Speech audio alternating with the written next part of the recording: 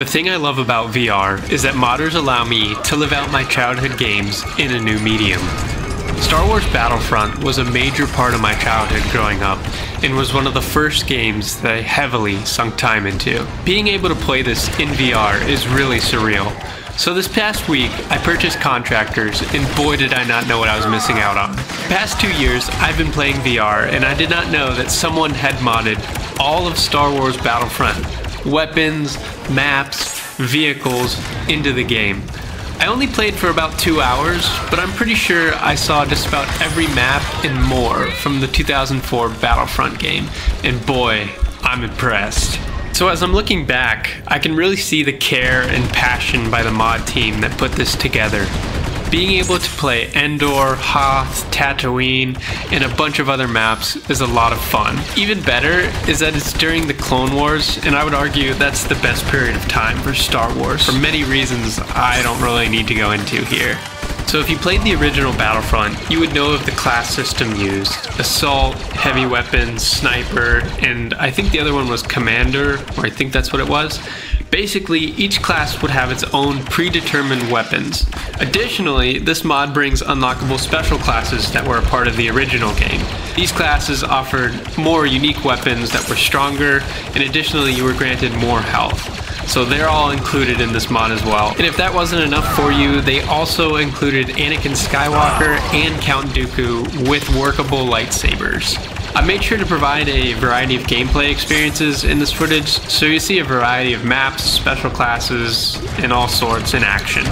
At one point, you'll see when I learned that the rocket launcher and jetpack is the most deadly class in the game.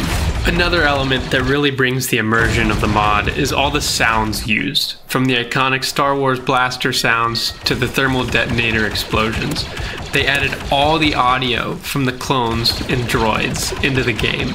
This makes the game really feel alive and adds another layer of immersion to an already great mod. What's even better is that the mod also includes the iconic Star Wars music right into the game. I have to say, when the two teams are going back and forth and they're shooting it out and the Star Wars music is playing in the background, it's just a heck of a time. It just adds to that level of immersion that you want from a VR game. Now, some of you are probably wondering, well, how popular is this mod and can I even get into a game? How frequently? So from my experience, I was able to get into a lobby no problem at all. Contractors is really nice. It has a multiplayer server browser, which I think every game should include, which lets you search for game modes and search for maps and game types and a lot of people were running the Star Wars mod. This is definitely one of the more popular mods. I was able to get into uh, Star Wars games on a multiple occasions, so you shouldn't have any problem getting into this. Given that we're probably never going to see a true Star Wars VR game from a publisher, this is probably the best thing that you're going to get for the time being. And honestly, it's worth the money to buy contractors alone for this mod.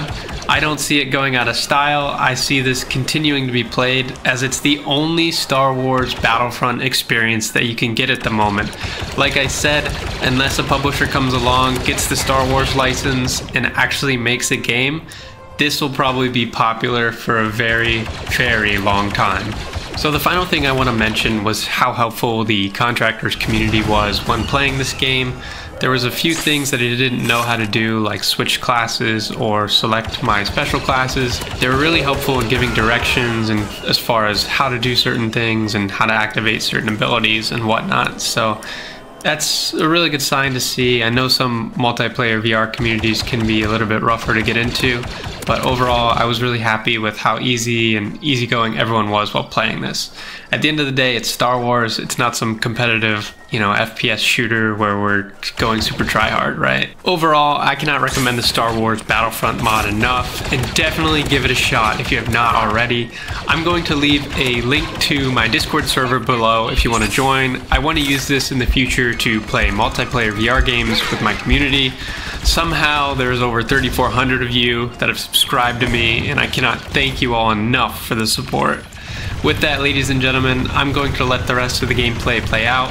Comment below your thoughts. Thanks so much for watching. Subscribe if you're new, and happy gaming.